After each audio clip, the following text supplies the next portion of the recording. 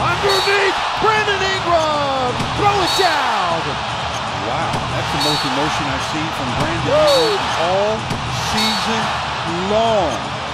Great aggression attacking the basket.